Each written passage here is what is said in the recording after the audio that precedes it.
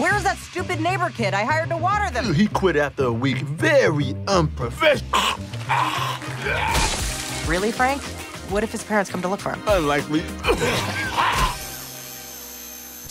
Pollinate me harder.